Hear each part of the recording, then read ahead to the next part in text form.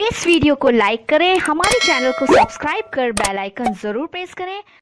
आज सुबह ही 11 बजे से एनडीए के अरकान पार्लियामेंट ने पार्लियामेंट की पुरानी इमारत में मुलाकात की, एक अहम मीटिंग की, जिसमें नरेंद्र मोदी को एनडीए का चीफ यानी सदर मुकर्र किया गया। इस पर आज नरेंद्र मोदी ने जनासेना के सरबराह पवन कल्याण की खसूसी तौर पर तारीफ़ की। नरेंद्र मोदी ने कहा कि पवन एक सोनामी है। एपी में लोगों ने हमें सबसे बड़ा तोहफा दिया। कर्नाटक और तेलंगाना में कांग्रेस की हुकूमतें कायम हुई, लेकिन जल्द ही वो आवाम की हिमायत से महरूम हो जाएँगी। उन्होंने कहा, इन दोनों रियासतों में लोगों ने एनडीए की हिमायत की है। तो आइए देखते हैं इस रिपोर्ट में नरेंद्र मोदी ने क्या कहा। और जो यहाँ दिखता है ना, पवन ये पवन नहीं, ये आंधी है।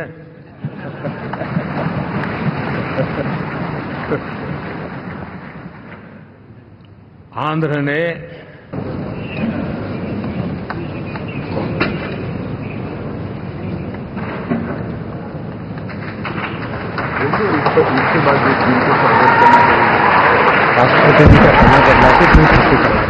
जो एनडीए के साथी स्वागत करना चाहते हैं, वो आगे आ सकते हैं।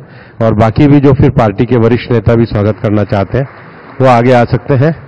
एनडीए के वरिष्ठ नेता राष्ट्रपति भवन की ओर भी इसके बाद जाएँगे। तो एनडीए के साथ ही तमिलनाडु देवनाथ हाँ जाओ जाओ। Prime Minister Sri Narendra Modi ji, my heartfelt wishes on behalf of Janasena and I'm fortunate and grateful for giving this opportunity to be here. It started in 2014 in the same place. And Honorable Chandrababu Naidu ji said, we want to see Modi ji to rule this country for 15 years and it's happening, sir. Chandrababu ji, your prophecy came true.